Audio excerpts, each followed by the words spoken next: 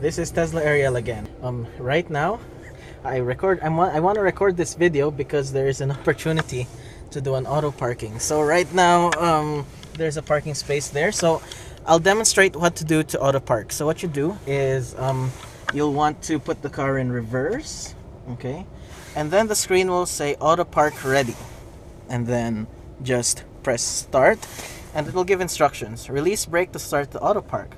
So I'm gonna release the brake, and auto park will be in progress. Okay, so the steering wheel is steering itself.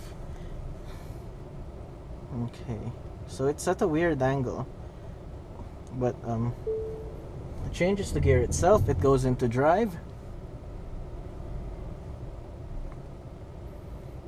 and um, you see the camera um, is showing what we're doing. So the steering wheel moves itself. I don't have to change the gears or do anything.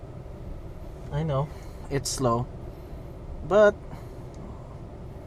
it's cool.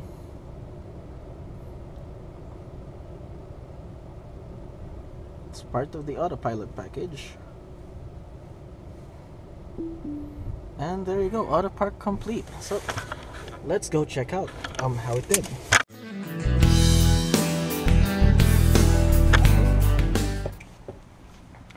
All right, so